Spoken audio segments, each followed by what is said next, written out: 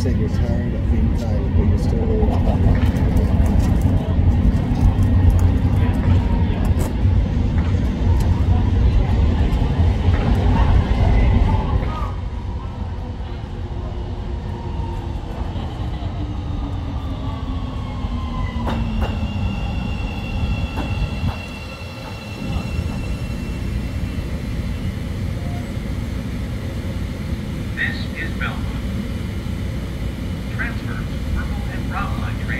Belmont.